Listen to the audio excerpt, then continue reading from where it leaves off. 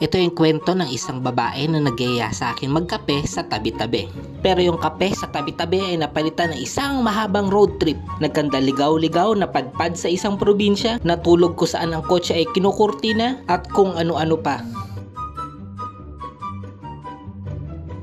Nabudol na rin ba kayo ng asawa nyo? Yung tipong ang sabi niya, tara magkape tayo. Tapos ay hindi maipaliwanag na pangyayari ay napauo ka sa kanya. Well, ganito ang kwento ko nang nabudol ako ng isang babae na ang sabi sa akin, ang kape mo, gawin nating isang mahabang road trip kung sa, di ko pa alam kung saan.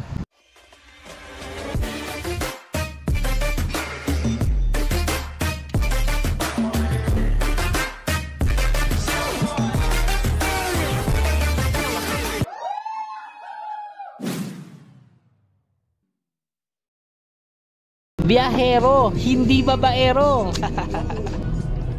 so imbis na nakaupo kami at nagkakape lang, bigla niya naisipan na ano kaya't mag road trip naman tayo. Tapos sabi ko saan tayo pupunta? Kahit saan tayo dalhin basta patakbuhin mo lang yung kotse.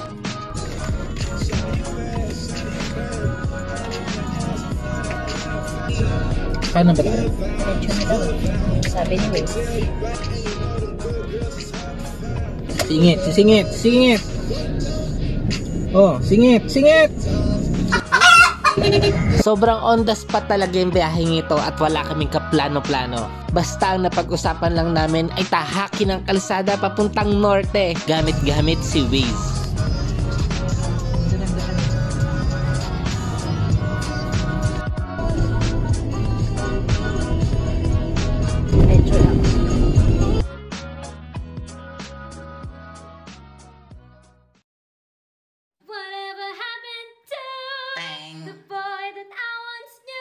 Knew? The boy who said he'd be Oh. true. Sige na. Anong sige lang? Saan tayo dadaan dyan? Sarado. Wala ba yung kayaan? Ano kaliwaan? Nakasarado yung gate. Yan, yan. Si Waze. Niloloko na naman tayo. Ano ang sulat yan? Diretso lang. U-turn ka. Bullshit. And we're back in the road. Yung ways na yan kung saan saan kami pinapadaan. Niligaw pa kami. And time check, 5.13pm. Dire-diretso lang tayo kung saan tayo mapadpad. Wala pa kaming tutulugan.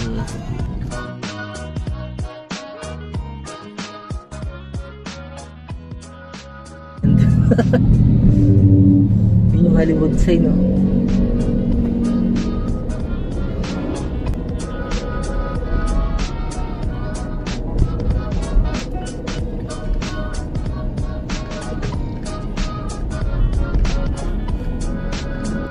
Sobrang bigla ang lakad kung saan wala kami eksaktong lugar kung saan kami kakain. Walang eksaktong lugar kung saan rin kami matutulog. Basta ang alam lang namin ay napakaganda ng view at ng sunset dito.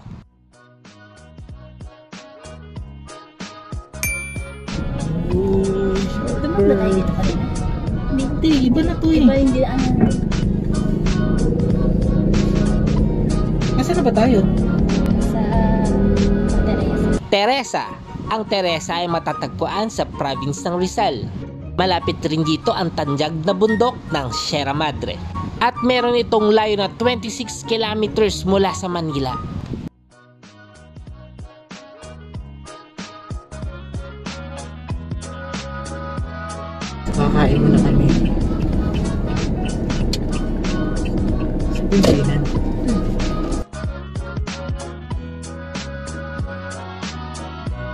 Baka magutom ka mamaya. Lugaw ho isa. Egg. Opo. Tapos isang mami.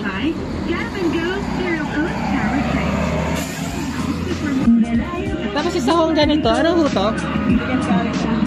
Tsaka isang kanin.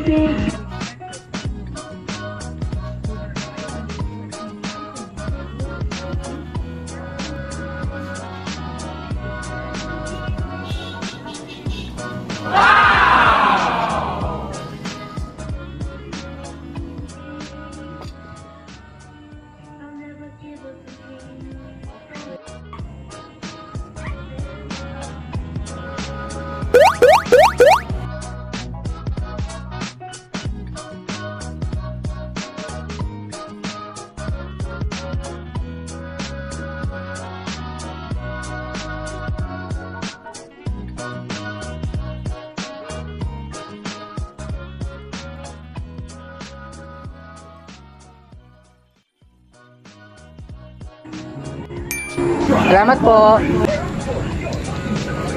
Baka na yun?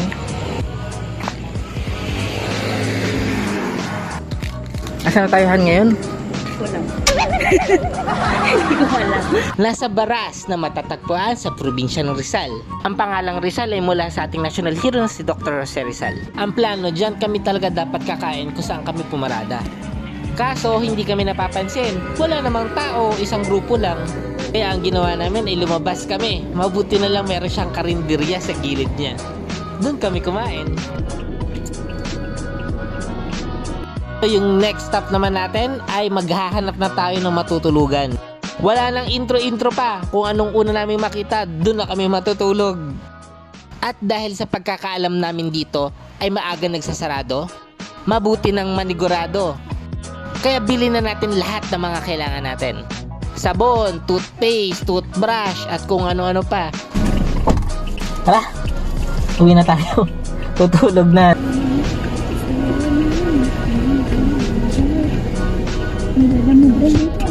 Wow. Hindi pala dito yun. Baka mag, pwede rin magpag-grab milk tea.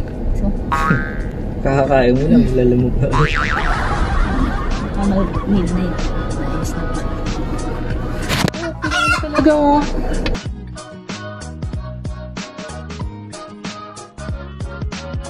Now open.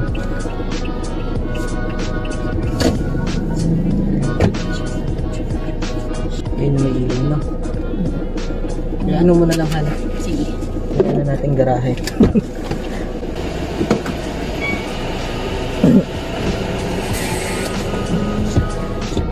Oh ha? Sinasarado na ni ate yung kortina. Oh, may dala pala akong extra damit yung pang swimming. Nakalimutan ka, meron akong bit-bit. Okay. Hindi ako magkasya ah. Patagilid na lang ilakad ko.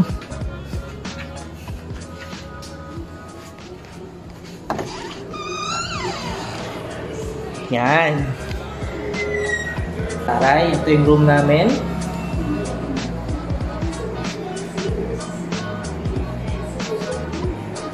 Wow!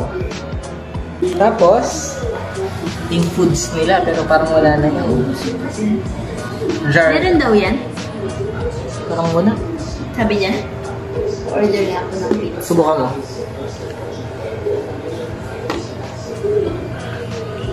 Dial zero for room, a room service. Ate, may wifi po kayo?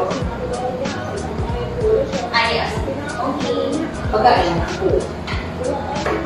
Wala na wifi. Hindi pa naman. O, di ba? Walang wifi. Pero kung dito din, nagawa tayo ng thumbnail natin. Okay na lang.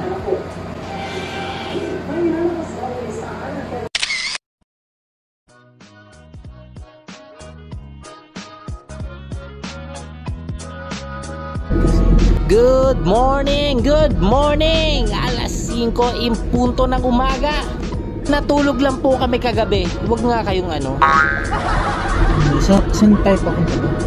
Ano pangalan? Kape na. Cafe Natividad. Ano meron doon? Kape. Teka lang, magbablog mo na. Mag-picture mo na kayo. Oh, Kasi sige. ang ganda doon yung picture.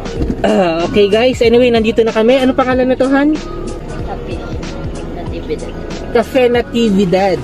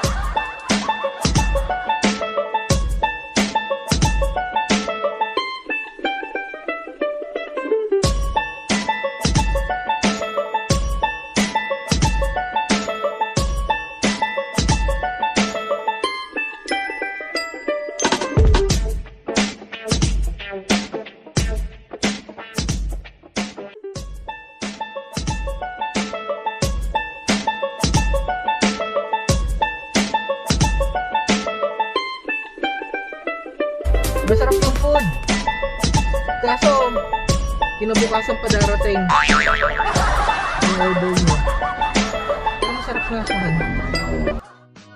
At pabalik na kami ngayon sa aming bahay mula sa aming biglaang road trip. Nabudol man ako ulit ng aking asawa, eh, hindi ko naman matatanggi na nag-enjoy naman ako sa aming adventure. Dahil first time ko lang gumala at lumayo na walang kaplano-plano at walang kapitbit na kahit ano. At ang pinakamatindi dito, may pasok pa mamaya ang asawa ko. Gala now, zombie later. No hate, love and support. So paano? Kita kits? Next on Kinido Channel. Ko nga kasi wala kang pinakilala sa akin. Oh, absuelto. Pero sa iyo,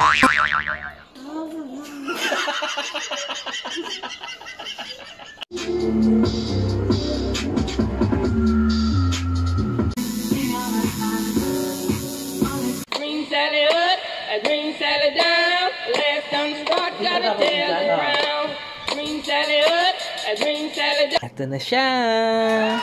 Ito naman niya. Hitmaster System. Siyempre, tapos na siya eh. Kung makahawak to lang. Alexa.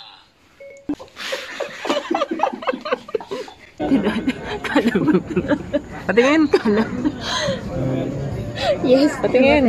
Lagi.